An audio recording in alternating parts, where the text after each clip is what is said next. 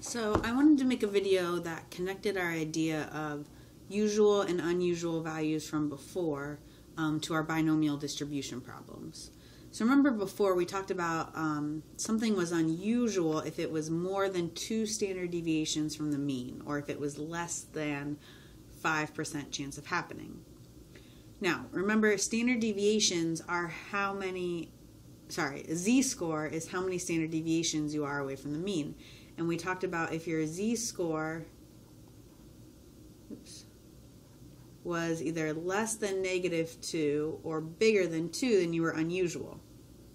Now, another way of finding this is we can find the interval of usual values, meaning what interval would they be usual, and then anything outside of that would be unusual.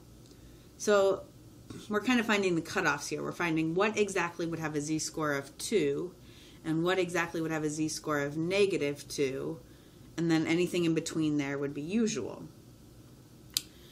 Now, we can do this for a binomial distribution really pretty easily. So remember for a binomial distribution, the mean is equal to n times p and the standard deviation is equal to the square root of n times p times q where q is always equal to 1 minus p.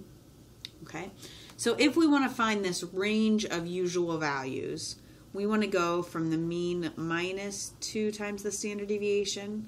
That would be our lowest usual value. This is just a little formula. And our highest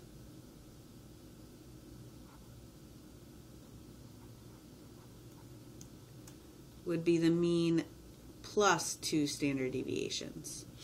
Okay, so here we just need the mean and the standard deviation, and we can find the lowest value and the upper value, the highest value, and then we can judge any value, whether it's usual or unusual, if it's between those or not between those. Okay, so here we have our n is 1038 and our p is 0.88, which makes our q equal to 0.12. So if we want to find our mean, our mean here would just be 1038 times 0.88 and I'm just going to quickly put this into my calculator.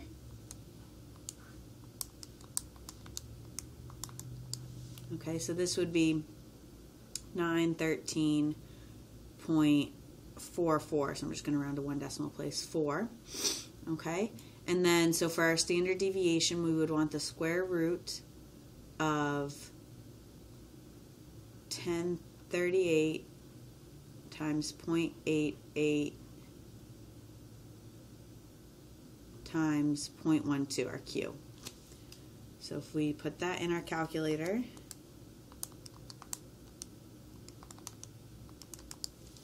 we get 10.5 if we round to one decimal place. So now, seeing this, our lowest value which would correspond to something before that had exactly a z-score of 2, would be equal to 913, our mean, 0.4, minus 2 times our standard deviation, 10.5. Okay, so we would do 9, 13.4 minus 2 times 10.5 so our lowest usual value would be 892.4. So anything less than that would be unusual. And our highest usual value would be 913.4, our mean, plus 2 times our standard deviation.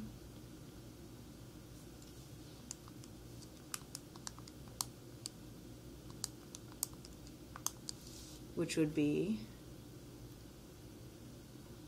934.4. So what we're saying is any value between these two numbers would be usual. Anything less than 892.4 would be unusual, and anything greater than 934 would be unusual. Okay, so, but these would be kind of our cutoff points. So we would say, you know, our interval of usual values would go from 892.4 up to 934.4.